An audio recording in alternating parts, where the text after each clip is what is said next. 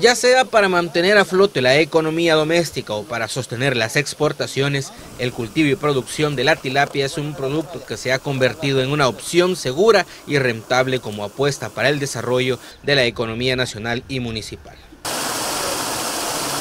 Porque es una especie de, mayor, primero resistencia a enfermedades, que prácticamente en lo que es los peces no hay va, pero sí hay algunas que otras sí se da un mal manejo más rápida en crecimiento que otras especies nativas de la zona y, eh, ¿cómo decirle?, de mejor sabor.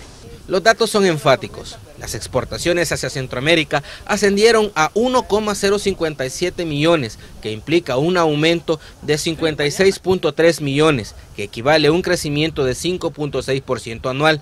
Esto fue producto principalmente de las ventas hacia Honduras, Nicaragua y Guatemala, quienes demandaron productos salvadoreños en mayor cantidad que en el pasado 2014, ascendiendo este incremento a 59.2 millones.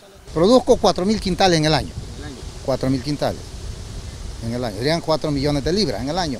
Pero realmente lo que yo vendo a nivel nacional, eh, aproximadamente unas, unos 100 quintales por semana. De ahí lo demás va para un mercado afuera, va a Guatemala en este caso.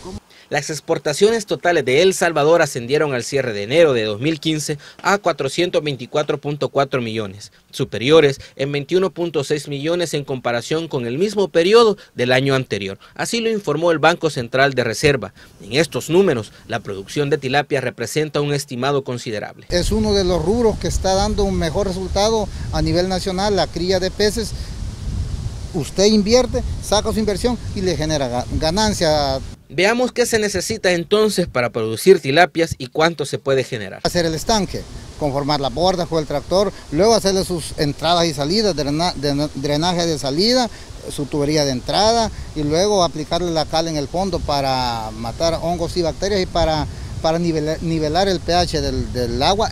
Más que cifras frías, este producto puede cambiarle la vida de las personas de la zona donde se produzca y puede convertirse en una generadora de oportunidades. En la tilapia tenemos la ventaja que todavía recuperamos la inversión y tenemos en que sea un 10% de ganancia net. Y al punto que tenemos esta zona donde se está cosechando una serie de 100, 200 toneladas mensuales que están este, produciendo de tilapia y que se está exportando a los diferentes mercados.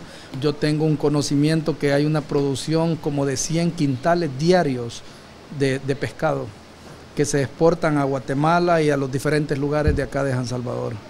Sin duda, la producción y diversificación de productos puede ser la clave al futuro para sacar a flote la economía nacional pues por ejemplo cada quintal producido es vendido entre 100 y 125 dólares. Por eso el Estado salvadoreño trata de darle un impulso a estos sectores para aumentar la fuente de empleo en el país. Con imágenes de Carlos Benavides, este es un reporte de Víctor Menjiva.